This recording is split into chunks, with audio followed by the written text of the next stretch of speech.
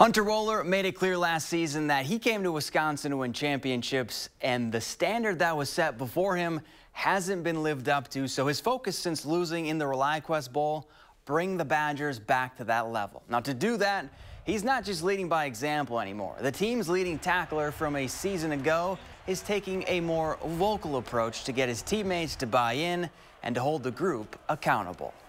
There comes a point when you have to just be completely honest. Um, and it might be blunt, it might be straightforward, it might hurt some people's feelings.